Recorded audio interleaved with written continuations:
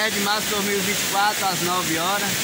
A galera aí, ó, vai já adentrar essa beleza aqui, ó. Pra tomar um banho aqui na Cachoeira da Véia, o Poço da Véia, entre Santana e Areias. A chuva já bate, né? Já dá o seu sinal que aqui estou. E a gente vai aqui se deliciando da natureza nesse dia esplendor.